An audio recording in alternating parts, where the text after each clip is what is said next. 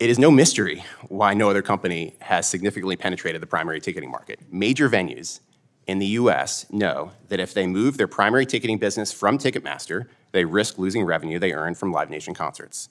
They know this because Live Nation has told them so, directly and indirectly, through its public pronouncements, private communications, and subsequent retaliation against venues that have signed deals with a competitor.